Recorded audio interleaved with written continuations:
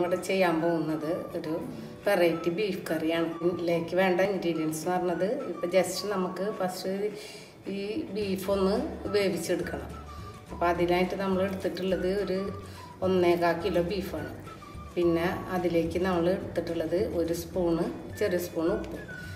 പിന്നെ ഒരു കപ്പ് വെള്ളം. പിന്നെ ബീഫിലുണ്ട് വെള്ളം. അപ്പോൾ വേവാളം വെള്ളം ഓക്കെ പിന്നെ നമ്മൾ എടുത്തിട്ടുള്ളത് മൂന്ന് സ്പൂണ് മല്ലിപ്പൊടി പിന്നെ ഒരു സ്പൂൺ ഗരം മസാല പൊടി പിന്നെ ഒരു ചെറിയ സ്പൂണ് നല്ല ജീരകം. ഇതെല്ലാം കൂടെ ഒന്ന് വറുത്ത് ഓൾറെഡി നമ്മൾ സ്റ്റോക്ക് ചെയ്തിട്ടുള്ളതാണ്. ബീഫ് കറി ഒക്കെ വെക്കാനായിട്ട്. അപ്പോൾ ഇത്രയും സാധനങ്ങൾ ഇട്ടിട്ട് നമുക്ക് നല്ലോണം ഒന്ന് വറുത്തെടുത്തിട്ടുള്ളത് എന്നിട്ട് നമുക്ക് ഇത് ജസ്റ്റ് ഒന്ന് കുക്കറിലിട്ടിട്ട് ഒന്ന് വേവിച്ചെടുക്കുക ഫസ്റ്റ് സ്റ്റെപ്പ് ഇതിലേക്ക് നമ്മൾ എടുത്ത് വെച്ചിട്ടുള്ള മസാല ഇട്ട് കൊടുക്കുക. പിന്നെ ഈ ഉപ്പിട്ട് കൊടുക്കുക. ശേഷം വെള്ളം ഒഴിക്കും.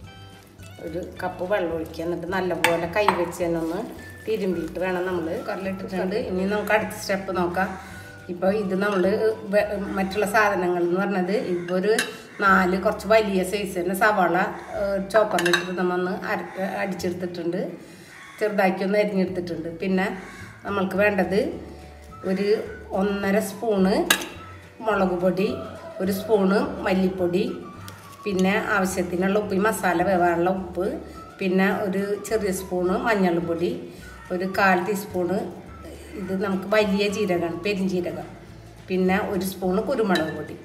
പിന്നെ നമുക്ക് വേണ്ടത് ഒരു രണ്ട് തക്കാളി പിന്നെ സ്വല്പം ലാസ്റ്റ് ആഡ് ചെയ്യാൻ ഒരു ഗരം മസാലയുടെ പൊടി സ്പൂൺ വേണം. പിന്നെ ഇഞ്ചി വെളുത്തുള്ളി പേസ്റ്റ് വേണം. പിന്നെ കുറച്ച് മല്ലിയില. ഇത്രയും സാധനങ്ങളാണ് നമുക്ക് പിന്നെ ആവശ്യത്തിന് വെളിച്ചെണ്ണ. പാനോടെ ചൂടായി വന്നിട്ടുണ്ട്. അപ്പോൾ അതിലോട്ട് നമുക്ക് കുറച്ച് വെളിച്ചെണ്ണ ഒഴിച്ചു കൊടുക്കാം.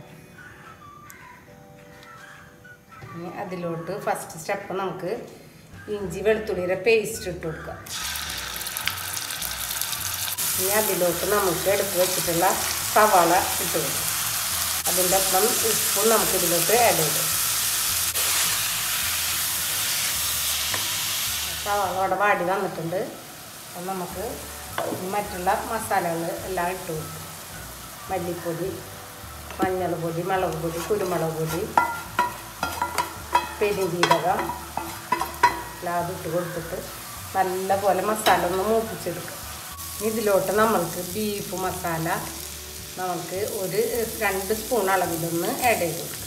മസാല എല്ലാം വാടി വന്നിട്ടുണ്ടെങ്കിൽ അതിലോട്ട് നമുക്ക് തക്കാളിയും ഒരു അഞ്ച് പച്ചമുളക് അരിഞ്ഞതും ഒന്ന് ഇട്ട് കൊടുത്തിട്ട് നല്ലപോലെ ഒന്ന് മിക്സ് ചെയ്തെടുത്തിട്ട് തക്കാളി ഒന്ന് വേവിച്ചിട്ട് ഇതിലോട്ട് ഒരു അര സ്പൂണ് ഗരം മസാലയുടെ പൊടി കൂടെ നമ്മൾ ആഡ് ചെയ്യുന്നുണ്ട്. ഇനി നമുക്ക് ഫ്ലെയിം ഓഫ് ചെയ്യും. അപ്പം നമ്മൾ ഈ മസാല വറുത്തത് എല്ലാം അതിൽ നിന്ന് മാറ്റിയിട്ട് അതിലോട്ട് നമ്മൾ കുക്കറിലെ ഇറച്ചി വേവിച്ചത് ഇട്ട് കൊടുത്തിട്ടുണ്ട്. ഇനി നമുക്ക് ഇതിലത്തെ വെള്ളം കുറച്ചൊന്ന് വറ്റിച്ചെടുക്കാം.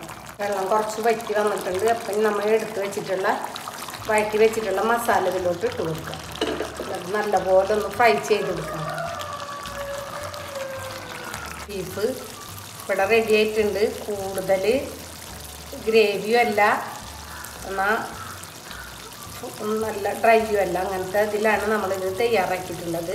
മല്ലിയാലയും കൂടെ ഇട്ട് കൊടുത്തിട്ട് ഇതൊന്ന് വടിയിട്ടിയാൽ നമുക്ക് ഫ്ലെയിം നോക്കും അപ്പോൾ എല്ലാവരും ഇതൊന്ന് ട്രൈ ചെയ്ത് നോക്കുക. ഇഷ്ടപ്പെട്ടാൽ ലൈക്ക് ചെയ്യുക സബ്സ്ക്രൈബ് ചെയ്യുക